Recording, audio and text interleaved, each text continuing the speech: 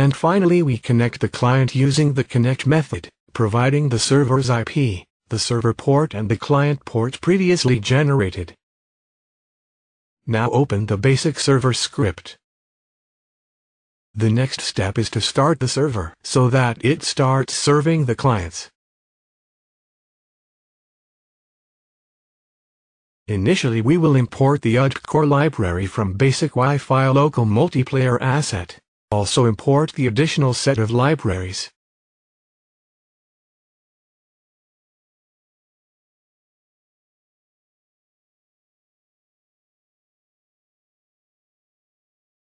Declare a static variable of type basic server class called instance.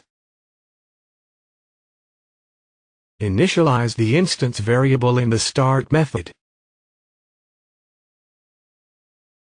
Create a variable of type UDP component called UDP client.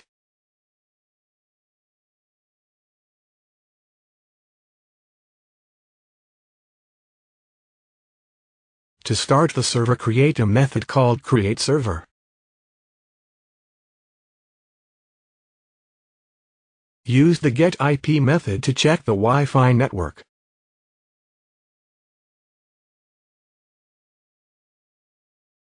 Before starting a server, we should check if there is already another server running, using the following lines of code.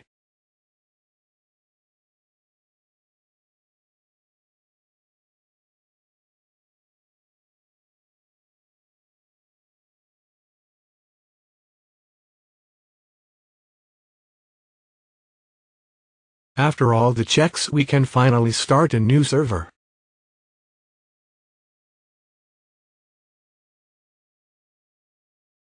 Use the start server method to start a new server.